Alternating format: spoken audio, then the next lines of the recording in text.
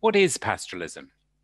Pastoralism is a system of production based on livestock, cattle, sheep, goats, camels, yaks, and so on, usually on open rangelands. Importantly, pastoralists make use of highly variable resources, often through flexible movement and using skilled herding. You can find pastoralists all over the world, from the drylands of Africa to the high steppes and deserts of Asia, to the mountains of Europe and South America. Pastoralists live in some of the harshest environments on the planet. These are huge areas, 20 to 40% of the world's surface, involving more than a billion animals and many millions of people. Because pastoralists live with uncertainty and make use of variability, they can teach us all a thing or two about development. Not only must they respond to highly variable environments, but also to market volatility and uncertain institutional and political conditions. Thinking about pastoralists as reliability professionals, embracing uncertainty and complexity opens up important insights. This is significant for everyone, whether responding to climate change, to disease pandemics, banking crises, or mass migrations.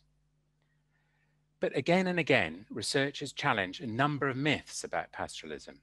Pastoralists are not backward peoples who degrade the environment or are in need of modernizing development.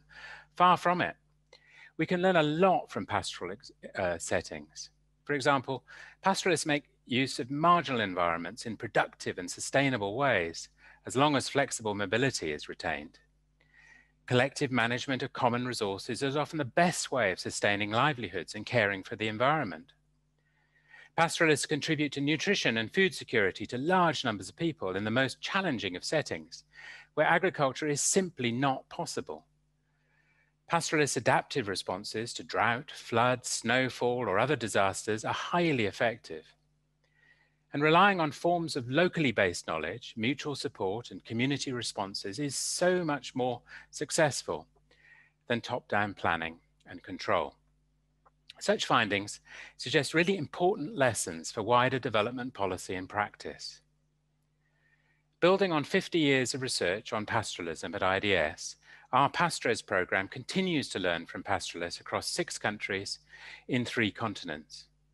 We find that given the turbulence, uncertainty, and complexity of our world, pastoralists can often point the way to the future of development, not just in pastoral areas, but everywhere.